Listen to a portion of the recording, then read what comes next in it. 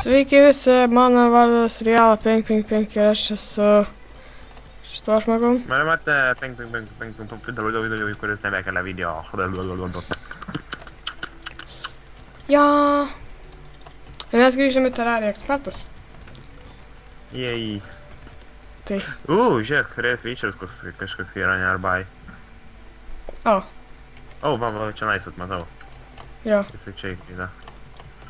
Volde Boni. pradingo. Aš man irgi mažiau jis portalą. Bet jis dar yra ant rare features. Ai, va, iš čia. Ai, va, va, va. Ja. Pakavau. Tai, galim biškut naujų itemų. Aha. Tai yra, aš gavau va šitą dalyką.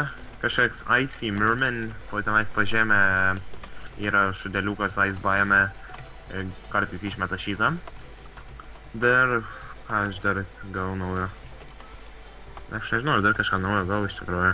Accessories naujo Ai, jo. negavai? Jo, jo, jo, gavau Onk Shield ir dar gavau Star, Whale, Star Whale ir dar plus visus juos reforginau į Warding. Ir dėl to išėjo iš pinigų paveikiau. Tai yra gražiai pardaviau jam uh, tikrai iš tikslę kainą dalykų. O aš, aš nežinau, kodėl aš šitą visą nešiojas. Bet gavau Beam Sword Skeleton Merchantą. Aš kaip matot, čia Dynasty Wood yra. Um, nusipirkau Mechanical Ruler. Um, gavau Jelats, kuris uh, galim, gam, galim gauti iš uh, Jungle mobų. Uh, Uzi gavau. In the jungle, the mighty jungle. Oi. Oi. Atsiprašau. Vis tiek Uzi gavau ir dar ką aš dabar accessories, jo. jo. Tarp accessories tai aš pasidariau Miss, nes Martynas gavo Philosopher Stone. Aš sujungiu su savo tuo kitu um, Regeneration band ir pasidariau Miss, paskui yra Fortune Rewarding. Ir šitą yra Fortune Rewarding. Rank Shield Rewarding, paskui um, jis man davė Frozen Turtle Shell už 2 platinum. Jo. Kuris buvo menacing, bet paskui bandžiau gauti warding, bet gavau quick už tą. Um, paskui kas Dar dar? Ice Skates aš tau pardaviau už 3 platinum coinus. Jo, pasidariau Frostbark boots. Ir daugiau, Tai gal... vis- Aš labai rewarding. Vis kitus dalykus. Labai labai teisingas kainas čia, nais tikrai.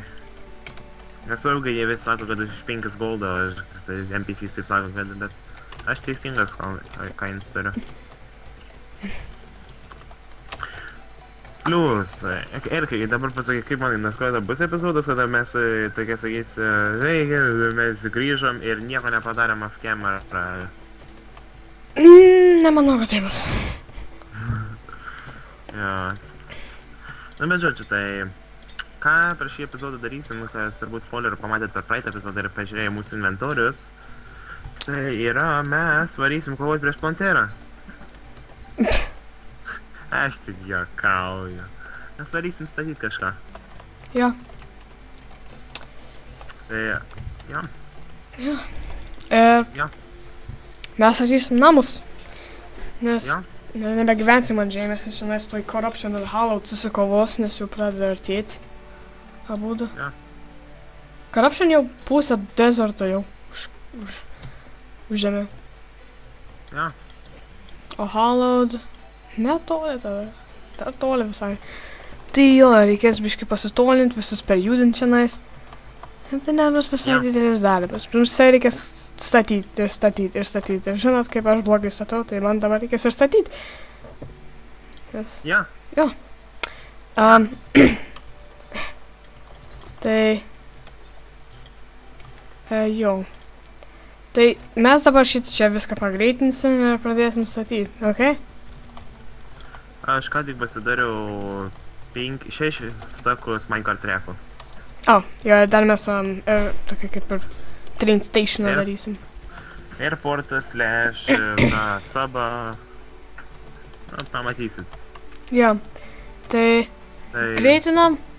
Greit. Mhm.